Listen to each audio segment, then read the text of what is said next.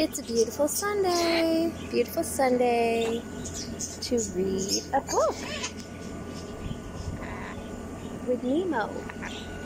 Beautiful Sunday evening. Hi. Beautiful Sunday. Isn't it? All the birds chirping and being beautiful.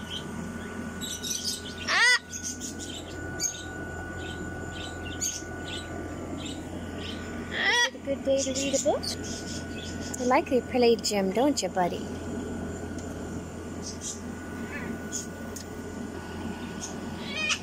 Sit outside, huh? Yeah. Beautiful Sunday. Say hi, Ava. Have a beautiful Sunday, everybody.